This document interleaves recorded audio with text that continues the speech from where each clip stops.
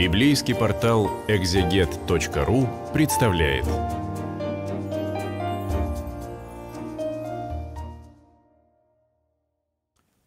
Двадцать восьмая глава пророка Исаия. Я читаю свой перевод, я Андрей Десницкий для библейского портала «Экзегет» и немного его комментирую. А, разрушение, разорение, уже 20 главы нас, наверное, к этому приучили, грустные главы. А, и вот говорится то об одном, то о другом, то о том, как Господь в окончательном каком-то итоге победит зло, как он э, станет спасением для этого города, но пока что все очень далеко от этого. И вот 28 глава, она про Ефрем. А что за Ефрем такой? Одно из северных э, племен или колен, вместе с Моносией, оно из двух главных, и, соответственно, так иногда называется Северное или Израильское царство, Ефремляне, Ефрем. Горе венцу, которым ефремские пьяницы гордятся. Увидает его роскошная краса, что венчала плодородную долину, жителей которой вино сразило. А венец, понятно, что и как сегодня это тоже что-то такое почетное, радостное, но, вероятно, они на празднике жизни увенчали себя, вот они ходят в венке, ну и заодно выпивают. А вине у Исаи довольно много, да. И виноградники у него все время встречаются. Виноградник — это такой образ Э, Израиля частый, и, э, конечно, о неумеренном пьянстве. Но дело даже не в том, что слишком много пьют. Если бы э, всего лишь это, а они скорее уходят в винопитие от того, чтобы вот заткнуть какую-то дыру, да, от того, чтобы не давать справедливости, не жить так, как им нужно, вот лучше напиться. Есть у Господа некто крепкий, могучий, как гроза и град, разрушительный вихрь, как потоки вод, разлившихся после бури. Он и повергнет его на землю. Кто это? Ну, гадать долго не нужно. Это, конечно, Ассирийская империя, Ассирийское царство. Но он не называет э, Ассирию, потому что дело, наверное, не в том, что это конкретно Ассирия, а мог быть там Египет или э, еще какая-то большая держава. Но важно, что это Господь делает. Попран ногами венец — которым ефремские пьяницы гордились. Увянет, как цветок, их роскошная краса, что венчала плодородную долину, будет с ней как со смоквой, созревшей до срока, кто ее заметит, сразу сорвет и проглотит. Да? Э, растет, говорит, смоковница, там инжирное дерево, мы еще так говорим. Там э, один плод вырос э, очень спелым, и первый проходящий его срывают, потому что, ну, ну как же себе в этом отказать, да? И вот это самое перезревшее в пьянстве и разврате э, государства Ефремлина, оно оказывается такой же смоквой, которую, ну, не тот, так этот сорвет. Станет тот день Господь воинств прекрасным венцом роскошной короны для оставшегося народа. Станет он духом правосудия для того, кто сидит в судилище. Станет мощью для тех, кто вступает в битву при вратах. А, то есть э, их венец, который они сплели себе для украшения, падает на землю, его попирает завоеватель, а Господь становится подлинным венцом, то есть украшением и одновременно защитой, одновременно тем, что дает людям возможность э, и вершить правый суд, и э, сражаться с врагами. Ну вот как было и раньше, да, то есть э, на себя человек полагается или на Бога. Ну и дальше довольно злая пародия на Ефремлин. Даже они теперь шатаются от вина, спотыкаются от хмельного. Священник и пророк в хмелю шатаются, вином наливаются, в хмелю спотыкаются, в видении ошибаются, в суждении заплетаются. А, даже они, даже священник и пророк, то есть те, кто уж должен был бы сохранять некоторую трезвость мышления. Рвота все столы покрыла, нет нигде места без грязи. А они мне говорят — и кого это ты учить собрался? С кем знанием делиться? С младенцами едва отнятыми от груди? С сосунками едва из колыбели? Все приказ да приказ, приказ да приказ, правило да правило, правило да правило. А там э, такая очень э, по-русски не передать эту скороговорку, она по-еврейски звучит как цав-цав, цав-цав, кау-кау, кау-кау. А, вообще их можно перевести, эти цав и кав, как приказ или правила, но можно понять, как э, младенцы, которые отняты от груди, и они там кау-кау, да, то есть какой-то э, звук производят, но не очень понятно какой. И вот он им говорит, э, слушайте, пьяницы, есть заповедь, есть правила, да, как надо жить. Они говорят, что? Цау-цау, кау-кау, это что, ты с младенцами крохотными развлекаешься, да, это им ты так говоришь, у А, это не нам. Вот э, практически непередаваемая игра слов. Правило до правила, правило до правила. Чуточку там, чуточку тут. Вот эм, тесны, тесны правила.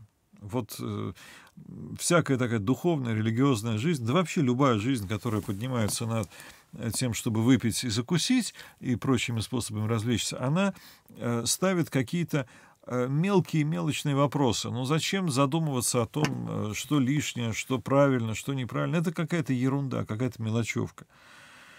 Давайте лучше выпьем.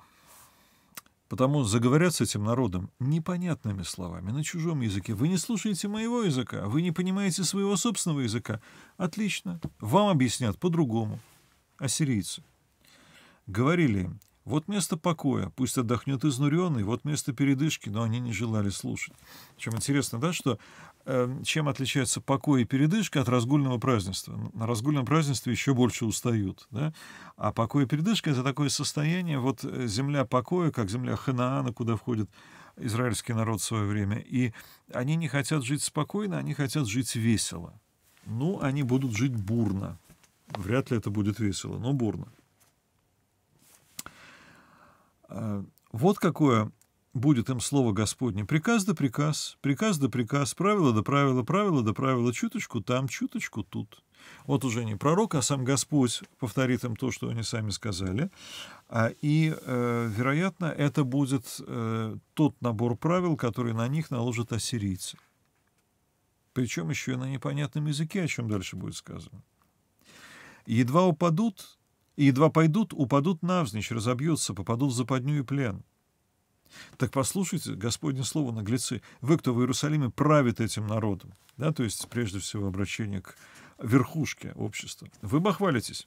Заключили мы договор со смертью. Соглашение есть у нас с Шиолом, что беспощадный бич пройдет мимо, нас даже не коснется, потому что ложь — убежище наше, спрятались мы за обманом.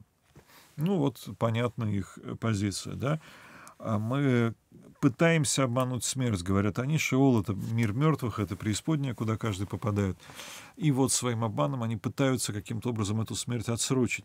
Может быть, имеется в виду дипломатия, переговоры со Сирией, может быть, э, что-то еще, какая-то форма религии, которая оттягивает смерть или предлагает какое-то удобное посмертное существование э, заставляет людей надеяться на него. Но э, самое главное, что это договор с самой смертью, а не с Богом. Вот что отвечает на это владыка Господь. «Кладу я на Сионе камень, во главу угла камень проверенный, ценный. Кладу его в самое основание. Кто верен, тому спешить не придется». А глава угла — это камень, на котором э, сходятся две стены. Фундамент, да, то есть угловой камень, на нем две стены, и он должен быть особенно прочным, потому что э, если его выдернуть, то две стены рухнут, да. Там посередине стены еще можно Э, не самый э, мощный камень положить, потому что соседние будут держать, а вот во главе угла должен быть э, ценный камень, хороший. И кто же это? Кто верен, тому спешить не придется. То есть тому, кто просто старается сохранять Богу верность. Правосудие сделаю правилом, праведность мирилом, а убежище лжи побьет град, укромное место затопит воды. Правосудие сделаю правилом, да, то есть дело в том, что очень часто а мы живем как придется, да, и э, правила другие, правила, ну, все так делают, правила, ну, куда деться, ну, такова жизнь, не мы такие. Вот э, должно быть правилом правосудия. И в какой-то момент оно будет, и как раз э, тот самый краеугольный камень, потом в Евангелии этот э, термин будет применяться ко Христу, но э, изначально это главный камень в постройке, изначально это вот некоторое твердое основание, на котором и будет строить Господь. Разорван ваш договор со смертью, расторгнуто соглашение с Шиолом, когда нагрянет беспощадный бич, прямо по вам пройдется. Это действительно ассирийская угроза. Как нагрянет он, так за вас возьмется, утро за утром, и днем, и ночью. Как ужасно слышать и понимать такое. Но в очередной раз Исаия не радуется тому, что он сам говорит. Коротка постель не вытянуть ног, и покрывало узко не завернуться да, вот э, человек, который спит на неудобной кровати, слишком короткой, под слишком э, так, таким коротким одеялом, да, узким. Вот, э, вот так и он себя видит. Ему приходится пристраиваться внутрь этого общества, да, как э, человеку там, может быть, где-то прилечь поспать на какой-нибудь садовой скамейке, да, где, в общем, особо и не приляжешь. Но э, вот а куда деваться ему? Приходится быть там, где он есть. Как на горе Перацим восстанет Господь в ярости, как в долине Гивонской, а гора Перацим, там, где э, было некоторое военное действие, да, где он, он собственно, боролся э, с врагами. И вот эти э, истории, да, они здесь приведены. Свершит свое дело, дело непостижимое, сотворит свой труд, труд честный, чудесный.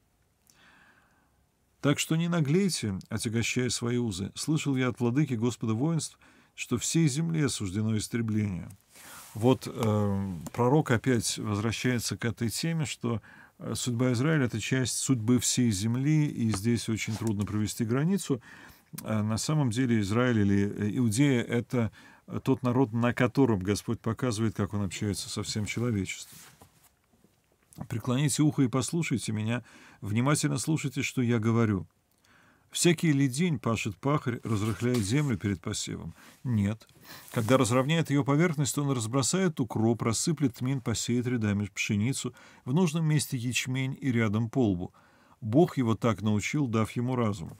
Ну, то есть проще говоря, сельскохозяйственная работа, она требует э, внимания и э, упорядоченности, да, то есть пахарь не все время только пашет, он э, сеет, причем сеет разное э, зерно в разные места, на э, разной почве, может быть. И так, собственно, ему разум дан от Бога. К чему это все? Чуть-чуть дальше, потому что этот образ идет дальше. Обмолачивают ли укроп на гумне, ну там, где обмолачивают э, пшеницу? Кладут ли тмин под молотилку?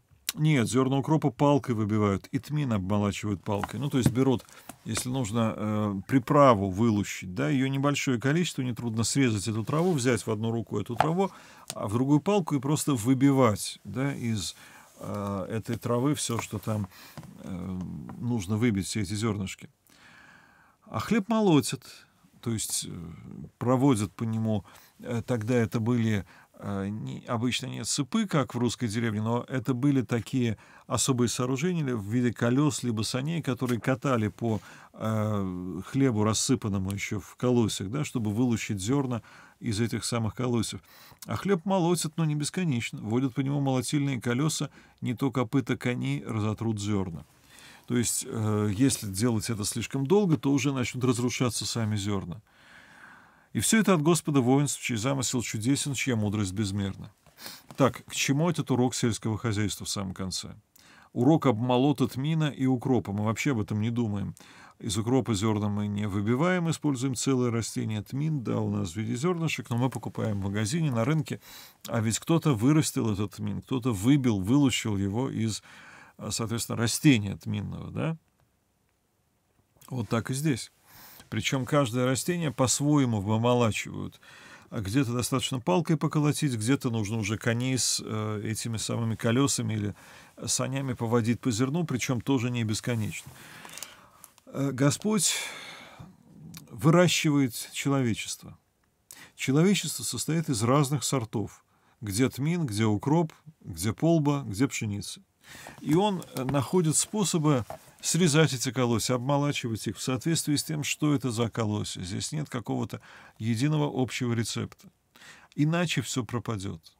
И э, есть мера зато. Вот не бесконечно водят эти колеса по э, пшенице, иначе уже и зерно погибнет. Вот и он, наверное, не бесконечно будет подвергать свой народ бедствиям, да и все человечество тоже, да. Но у этого всего есть свой замысел, как наверное, тмину и укропу обидно, что их срезают, бьют по ним палкой, так и человеку может быть это обидно. Но на самом деле в том и другом случае есть некая цель, ради которой все это делается. Ну и э, израильтяне, может быть, в этом деле э, самый яркий пример, но не единственное, о чем нам расскажет в очередной раз 29 глава.